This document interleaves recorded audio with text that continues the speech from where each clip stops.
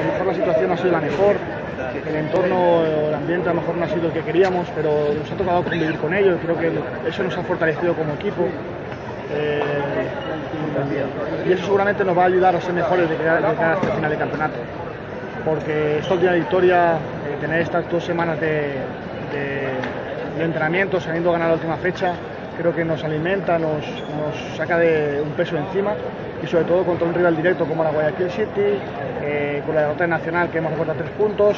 Entonces creo que estamos ya cerca de, lo que buscamos, de depender de nosotros y victoria creo que nos ayuda mucho. Habla, en este aspecto, lo que se les ha fortalecido el grupo, en ningún momento bajó los brazos de Ismael Rescalvo, porque ese es el tema de las críticas, los malos resultados, se conllevan a pensar siempre de que el técnico está por salir.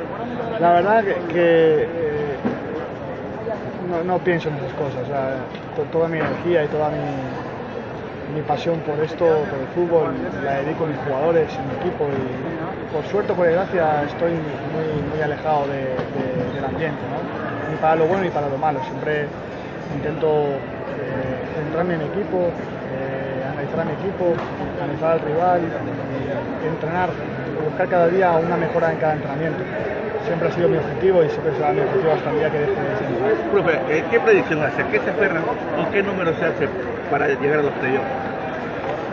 Bueno, pues eh, al final creo que el calendario es lo que es.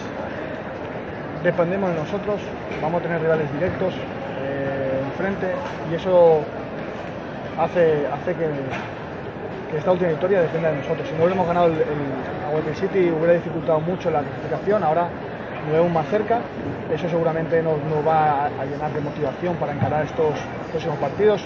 El partido Liga también es un partido importante porque también es un rival directo que si le ganamos lo, lo podemos acercar mucho.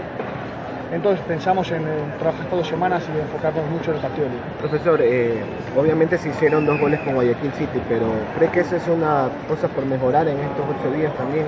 El tema de la contundencia, de obviamente un equipo que genera, que tiene el balón, que tiene posesión, pero sin goles no puedes ganar un partido. ¿Lo Sí. toman así? siempre hemos buscado al final, como los entrenadores al final bu- buscamos que el equipo